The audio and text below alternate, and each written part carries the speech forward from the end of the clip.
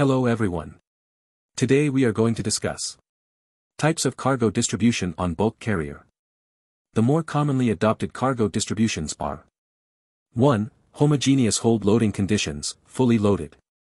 A homogeneous hold loading condition refers to the carriage of cargo, evenly distributed in all cargo holds.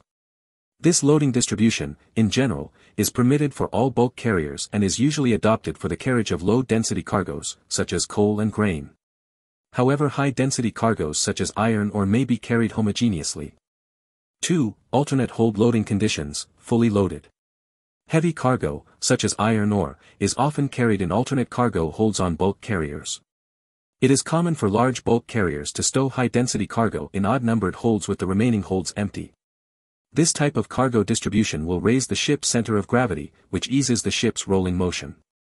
When high-density cargo is stowed in alternate holds, the weight of cargo carried in each hold is approximately double that carried in a homogeneous load distribution. To support the loading of the heavy cargo in the holds, the local structure needs to be specially designed and reinforced. It is important to note that the holds which remain empty, with this type of cargo distribution, have not been reinforced for the carriage of heavy cargoes with a non-homogeneous distribution.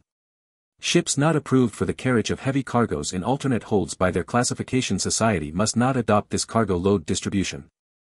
3. Block hold loading and part loaded conditions. A block hold loading condition refers to the stowage of cargo in a block of two or more adjoining cargo holds with one empty hold. In many cases, block hold loading is adopted when the ship is partly loaded. Part loaded and block hold loading conditions are not usually described in the ship's loading manual unless they are specially requested to be considered in the design of the ship. When adopting a part loaded condition, to avoid overstressing of the hull structure. Careful consideration needs to be given to the amount of cargo carried in each cargo hold and the anticipated sailing draft.